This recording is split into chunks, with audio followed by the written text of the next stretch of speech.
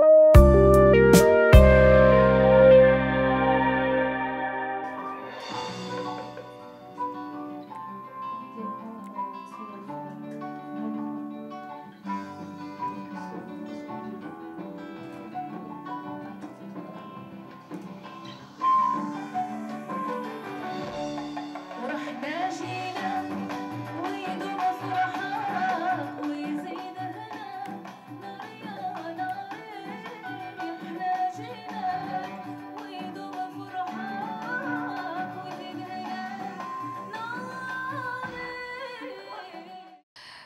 شكرا للموقع لالا بلوس آه، على الحضور طبعا لهذا لهذا المؤتمر الصحفي. آه، أغنية إحنا جيناك هي أغنية تراثية للراحل آه، سليم الهلالي.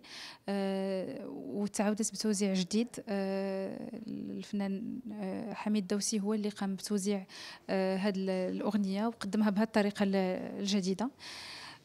هي كانت ما كانتش سهلة تختار آه، خصوصا أول أغنية اللي غادي تفتتح بها الألبوم لأن خاص تكون آه، أغنية تكون قريبة للناس وقريبة لك خاص تلقى هاد.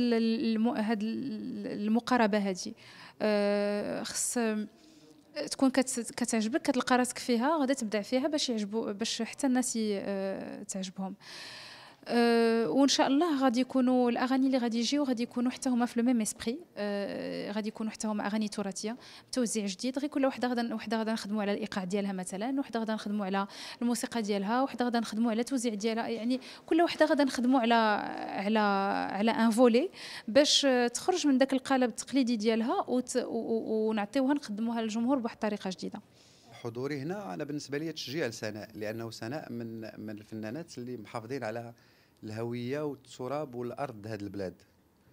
فأنا عجبتني الفكرة أنه سناء دارت un single وكان لازم نحضر لها وجيت من الرباط ولكن ماشي بوحدها حضرت لواحد المجموعة حضرت لمروان حاجي حضرت ملي تنشوف شي حاجة فيها الريحة والهوية بلادنا وفيها un degré de professionnalisme فقط.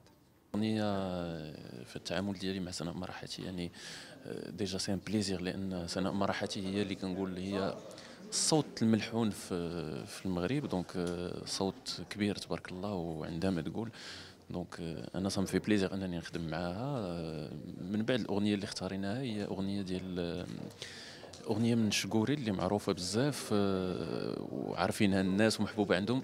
دونك بطريقة سنة مرحتي فهي أغنية جديدة غادا تعطي واحد الروح جديدة فيها آلات آه، يعني آه، آلات اللي كنستعملوهم في, في يعني في الحفلات خصوصا في الآلات لأن الموضوع ديال الأغنية ديال كيهضر على عرس مغربي و وكما قلت لكم بالطريقة ديال سناء كنتمنى أنها تعجب الناس ومتأكد أنها غتعجب الناس.